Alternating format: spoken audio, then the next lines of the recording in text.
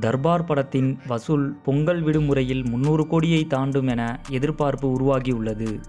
A R Murugadoss இயக்கத்தில் ரஜினி நடிப்பில் வெளியாகியுள்ள படம் தர்பார். லைகா நிறுவனம் தயாரித்துள்ள இந்த படத்தில் நயன்தாரா சுனில் செட்டி யோகி பாபு நிவேதா தாமஸ் உள்ளிட்ட பலர் நடித்துள்ளனர். சந்தோஷ் சிவன் ஒளிப்பதிவு செய்துள்ள இந்த படத்துக்கு அனிருத் இசையமைத்துள்ளார்.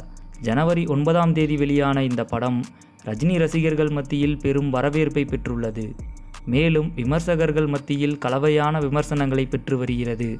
வசூல் ரீதியில் முதல் நாள் சென்னை நகரில் மட்டும் இரண்டு புள்ளி இரண்டு ஏழு கோடி வசூல் செய்துள்ளது. இதற்கு முன்னர் சங்கர் இயக்கத்தில் ரஜினி நடித்த டூ பாயிண்ட் ஓ படத்தின் வசூலை காட்டிலும் அதிகம் என்றும் திரைப்பட வியாபார கணிப்பாளர்கள் கருத்து தெரிவித்துள்ளனர்.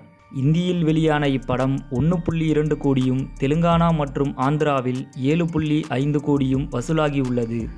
ஒட்டுமொத்தமாக முதல் நாள் வசூல் முப்பத்தி ஆறு கோடியை தாண்டி சாதனை படைத்துள்ளதாக தகவல்கள் வெளியாகியுள்ளன. இந்தியா தவிர பிற நாடுகளில் தமிழில் வெளியான இப்படம் எழுபது லட்சம் ரூபாய்க்கு மேல் வசூல் செய்துள்ளது. குறிப்பாக ஆஸ்திரேலியாவில் அந்நாட்டு மதிப்பின்படி சுமார் இரண்டு புள்ளி ஐந்து லட்சம் டாலர் வசூல் செய்துள்ளது.